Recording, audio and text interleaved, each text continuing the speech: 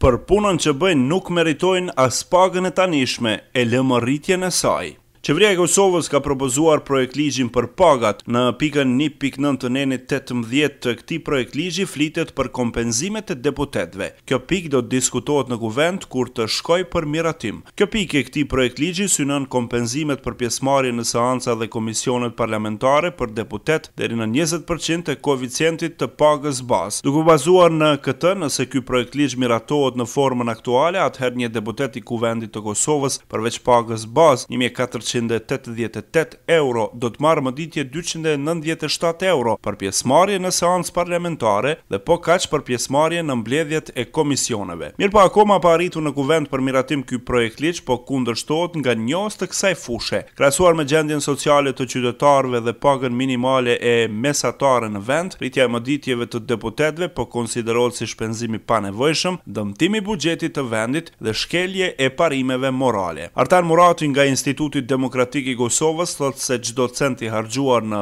paga e mëditje më të mëdha për deputetët e Kuvendit të Kosovës është shpenzim i panevojshëm i buxhetit të Republikës së Kosovës. Deputetët e kësaj legjislature përveçse janë më joefikasët nga të gjitha legjislaturat e pasluftës, nuk kanë dhënë diçka më shumë sesa polemika dhe fjalor shumë banal brenda Kuvendit. Normalisht se ka përjashtime, ka deputetë shumë të zellshëm dhe punëtorë, mirëpo shumica e tyre nuk kanë qenë në nivelin e detyrës që nga fillimi i punës së tyre në kuadër të kësaj legjislature. Miratimi i këtij projektligji përveç që do ta dëmtonte buxhetin, do të përçonte edhe mesazh negativ e me siguri do t'ua vuloste bindjen qytetarëve të Kosovës se deputetët në radhë të parë, Mendojnë për interesat dhe benefitet e tyre e pastaj për ato të qytetarëve dhe shtetit në përgjithësi, ka deklaruar Murati për Gazeta e Re. Ndërsa opinionisti Blerim Gashani identifikon dy telashe nëse ky projektligj miratohet në formën aktuale. Veç kësaj, ai shton se nëse kriter për rregullimin e pagës dhe beneficioneve tjera të deputetëve tanë do të ishin meritat si dhe performanca e tyre, atëherë ata nuk e meritojnë as pagën aktuale e lëre më të mendojmë për rritje.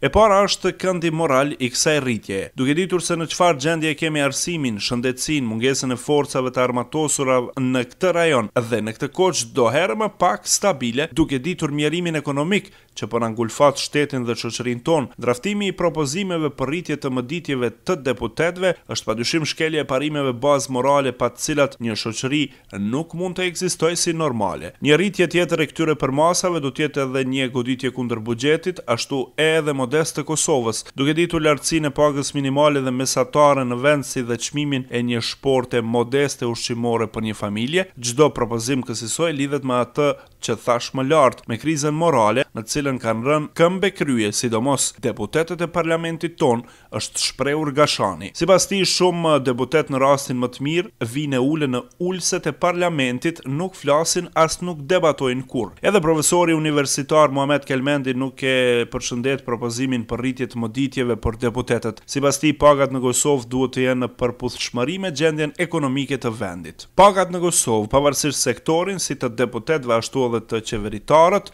deri te bordet, kërkohet të jetë në përputhshmëri me gjendjen ekonomike dhe sociale në vend. Çdo rritje page që nuk është në këtë përputhshmëri është në kundërshtim me frymën e aktit kushtetues të vendit. Po te ne kemi paga në disproporcione të mëdha, kryetari i bordit të Trustit, të PTK-së, të KEK-ut e shumë bordeve të tjera e kanë një pagë mujore prej katër mijë deri në gjashtë mijë euro në muaj. Presidenti i vendit e kalon shumën prej tre mijë e pesëqind eurove. Më pak nuk është as kryeparlamentari dhe kryeministri e ministrat. Deputetët gjenden gjithashtu në pozitë të mirë. Të ardhurat e tyre shkojnë edhe me mëditje mbi dy mijë e pesëqind euro në muaj. Çdo rritje është në kundërshtim me parimet bazike të shtetit. tonë që konsiderohet si social, ka thënë Kelmendi. Ai thekson se në Kosovë ka kategori të shumta që jetojnë me nga gjashtëdhjetë ose shtatëdhjetë euro në muaj. Sipas tij, kjo tregon se në çfarë disproporcioni ka në të ardhurat e vendit. Deri më tani, deputetët e Kuvendit të Kosovës për një seancë parlamentare kanë marrë mëditje në vlerë prej njëqind e njëzet euro, ndërsa tetëdhjetë euro tjera për një mbledhje të komisionit.